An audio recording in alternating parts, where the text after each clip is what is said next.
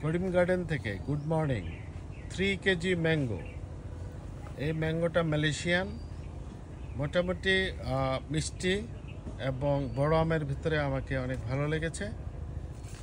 আমরা জানি আমাদের দেশে ফোর কেজিও পাওয়া যায়।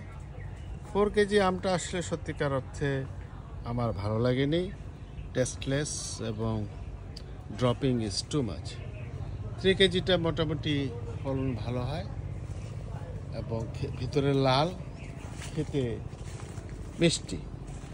অ্যাটলিস্ট ফজলির চেয়েও বেশি মিষ্টি। যদি আমরা দেখি, এটা একটা টপ ওয়ার্কিং করা গাছ। এই গাছে কিছু ধরেছে এবার। এবং মোটামুটি লেট বলা যায়, কারণ এটা এখন আমরা হারভেস্ট করব। এখনও হয়নি, তবে আর দু চার দিন পরেই এক সপ্তাহের মধ্যে হারভেস্ট করে নেব। আপনারা ট্রাই করতে পারেন। আমি বলব এটা ফজলির চেয়ে অনেক মিষ্টি এবং সাইজে ভালো। দুই থেকে আড়াই কেজি হয়, ভিতরে লাল রোগবালায় অনেক কম। ভালো থাকুন, সুস্থ থাকুন।